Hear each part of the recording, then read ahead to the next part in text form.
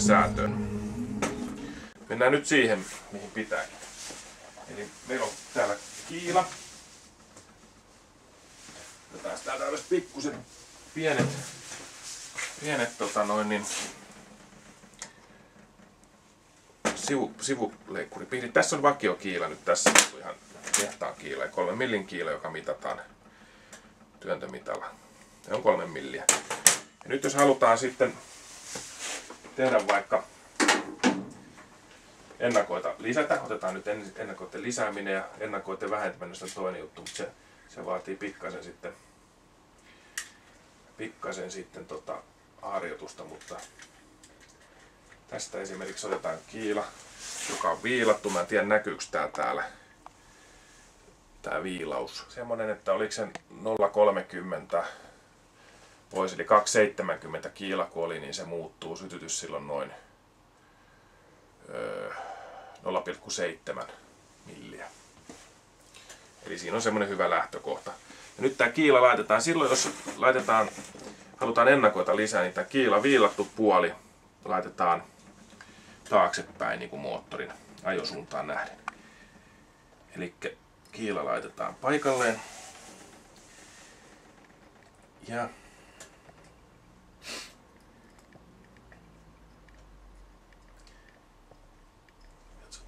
tarkistetaan. Joo, tää on näin. Ja sitten se pitää olla se kiila sillä lailla tehty sitten, että se vastaa pohja, että sitä ei jätetä johonkin puoleen väliin, koska se on todella vaikeaa sitten, se ei välttämättä pysy. Se pitää aina olla vasten sitä kiilaa, sen kiilauran.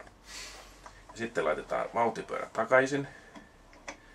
Ja katsotaan, ettei tiputeta kiilaa. Ja sä tunnet sen silloin, kun sä katsot, niin se vastaa. Nyt kiila ei ole tippunut, se vasta, vastaa siellä kumpaakin laitaan. Eli kiila on paikallaan. Ja nyt sitten tämä sytytyksen säätäminen. Mä en tiedä yhtään mikä tämän kiilan juttu, me ei edes katsottu, mutta me voidaan katsoa tässä ihan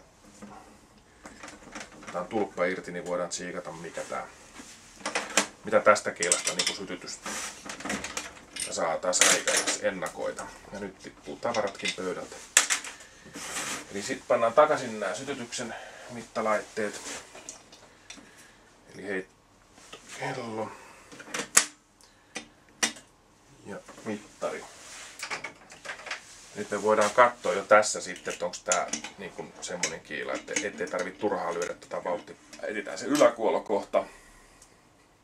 Mun on pakko katsoa mittari, mä sitten näytän teille myöhemmin. Eli nyt lähdetään kääntämään, täällä on yksi, kaksi milliä, kolme milliä. Ja sitten kun me on käännetty se, me tarvitaan tuo taskulamppu, koska ei silmät enää riitä näkemään tuota. Niin, oho, otetaan se tuon toiseen laitaan, eli yksi, kaksi, kolme milliä. Mä luulen, että on aika paljon yli olisi tällä.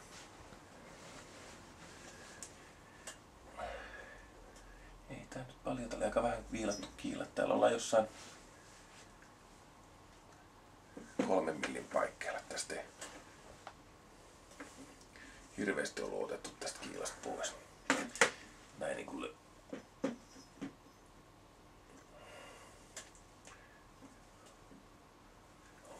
tossa.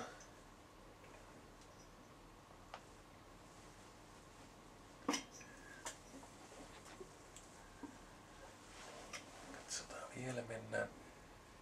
Yksi, kaksi ja kolme. Tää on vähän vaikeeta näin. Ei lue. Joo, täällä ollaan kolmessa millissä, että siitä tuli 0,20 pois. Ja mä voin näyttää sen sitten, katsotaan kun me saadaan tuo tarkistettua. Nyt voidaan käyttää sitten pari apuvälinettä tässä. Eli otetaan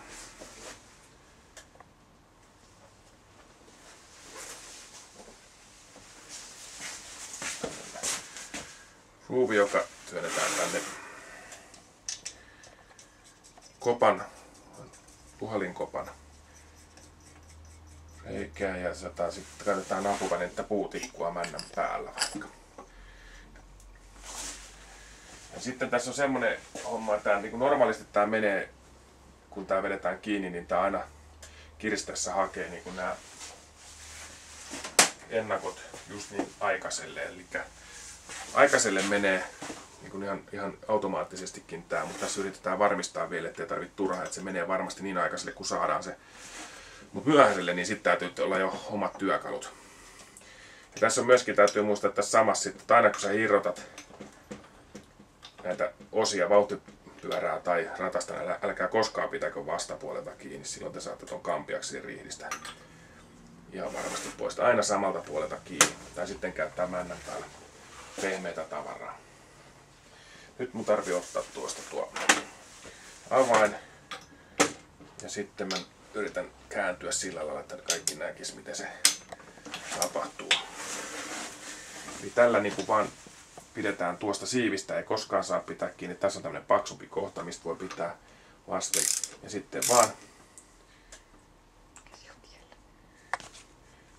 pidetään tota, eli näkyykö tämä nyt sinne kameraan? Joo. Niin tämä on idea ja sitten pidetään kiinni tästä ja painetaan tyhjät pois, eli mäntä vastaa tuolla tota pakopuolella olevaa pyörätikkua, puutikkua vasten, eli me pidetään se ihan tuolla äärilaidassa ja kiristetään kiinni noin. Nyt me voidaan sitten tarkistaa se sytytys, että ollaanko me saatu se oikein tehtyä. Eli nyt voi tulla pää ja kädet vähän eteen, mutta älkää välittäkö, jos te haluatte nähdä. Eli yläkuolokohta on koillaan. Sitten lähdetään katsomaan milli, kaksi ja kolmessa. Se pitäisi niinku olla ton mukaan. Ja sitten katsotaan valolla. Mä haluan päätä laittaa sitten väliin. Et kyllä me ollaan aika lähellä. Me ollaan, vähän ylikin päästi nyt kun saatiin väliät pois. Me ollaan kolmessa ja kahdessa nyt. Anteeksi. Heiluu. Eli kyllä se kolme milliä aika tarkkaa, pikkasen vain. Eli tää toimii tällä lailla tämä systeemi. Ja sitten se kiristetään, se loppukiristys, muistakaa kiristää vauhtipyörä sitten kunnon kisi. Kannattaa vähän käyttää siinä mutterissa liimaa.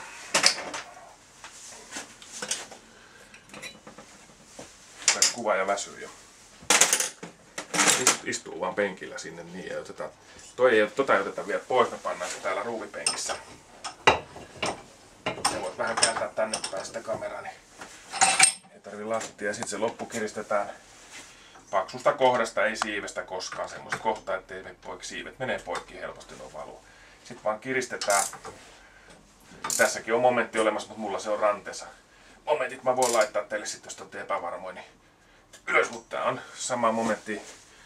Ihan normaali, mitä käytetään 10 milli kierteessä. Tässä on normaali mutteri, se mutteri sitä menee sitten jerrat. No niin, nyt se on kiinni takaisin. Ja sytytys on pikkasen ennakkoa nostettu. Ja sitten se menee sillä lailla toiseen päin taas, että sun pitää painaa toiseen suuntaan pakottaa. Kun se myöhäiselle haluat laittaa, niin toiseen päin pakottaa sitä. Eli puutikkua käyttämällä siellä ja pakottaa voi rakentaa tonne kampikammioon semmoisen levy, mutta sitä levyä mulla ei nyt tässä esillä ole. Mutta mä voin sitten neuvoa. Mutta periaatteessa tälläkin pystyy tekemään sen. Eli nyt otetaan sitten sylinteri auki seuraavaksi. Ollaanko me niin pitkällä? Kyllä.